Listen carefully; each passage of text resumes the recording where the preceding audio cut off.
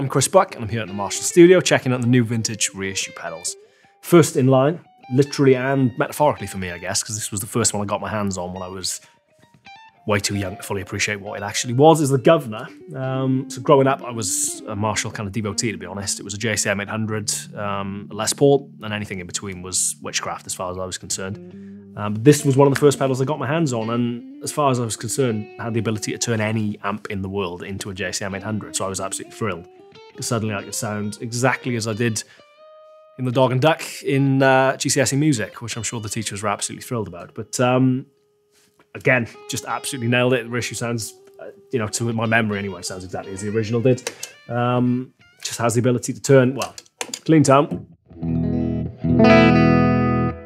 into a bit of a roaring monster.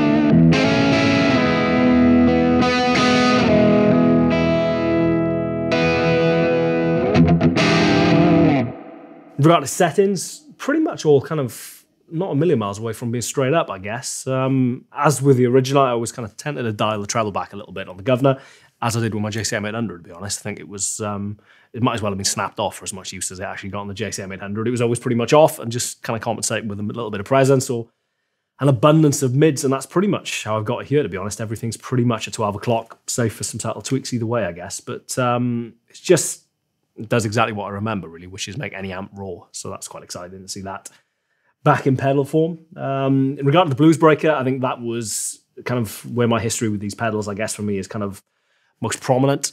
Amazingly, um, for the first and last time in my life, I kind of got in on something before the hype kind of exploded, really. I remember paying £30 for one, I think, on eBay. Used it religiously for years for all of its kind of many idiosyncrasies. It's just very cool sounding pedal. And, you know, for me at least, that was a Strat and a Bluesbreaker into a clean amp. That was my kind of thing for years, to be honest. So um, yeah, excited to see that coming back. Um, in regard to settings, uh, the gain's about two o'clock. Tone, pretty much as I always set it, was about kind of straight up midday, and then volume, a little bit of a bump um, at about three o'clock. So clean.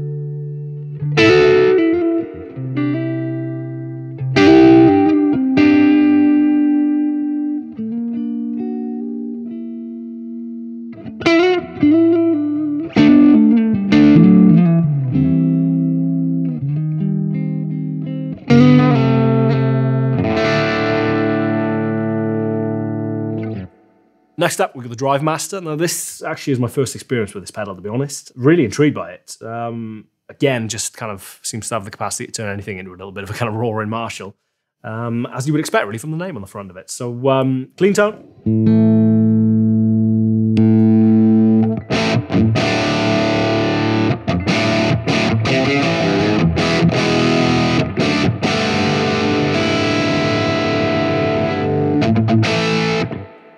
One thing I think which has been particularly uh, cool about all of them, but I guess is particularly noticeable on the pedals where kind of dial it in a little bit more gain, is just their capacity to be able to clean up.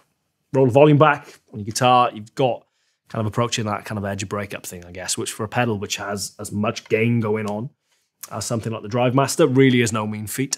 Um, just to show you kind of what roughly what I'm talking about.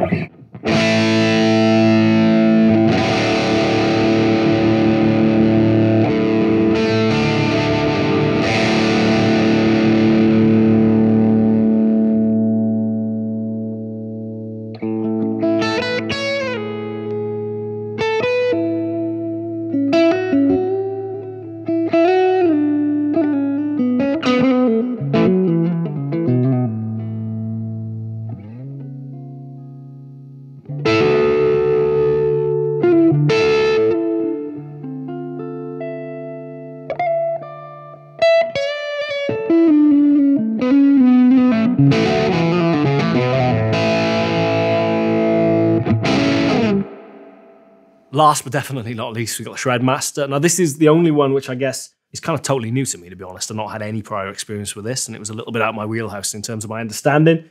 Um, and remains to be so, I guess, to a degree with um, the contour control, especially further to the right.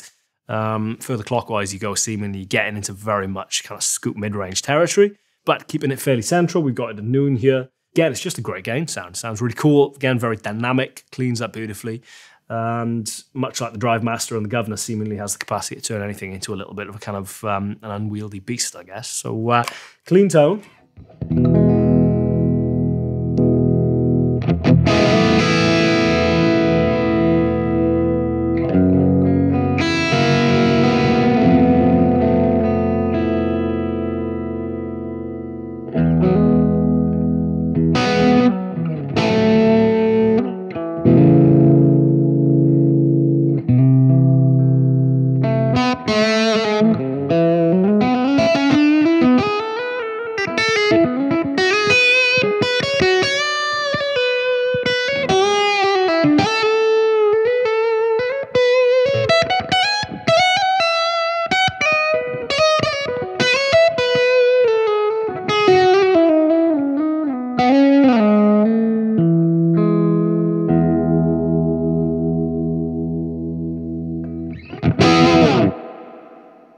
Terms of how I've been using these, I guess obviously they're relatively new, but the Bluesbreaker in particular has been a big part of my setup in some kind of derivation or not for the last pretty much ever since I bought it, which I guess probably was the better part of 10 years ago at this point. Um, it's pretty much always been the first gain pedal in my chain. Bizarrely, then, somewhat counterintuitively, being used as a solo boost. Not in terms of level, but in terms of kicking any other kind of pedals that have been after that, with a little bit more gain, a little bit more output, I guess, maybe compressing the pedalets later on, or depending on how much headroom that pedal has, maybe giving it a little bit more output.